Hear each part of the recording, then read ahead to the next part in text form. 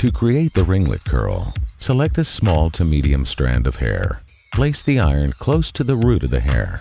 Point the tip down and keep your hand firm and steady. Wrap side by side, never overlapping, from root to tip. Hold for 5 to 7 seconds. Release hair at the tip.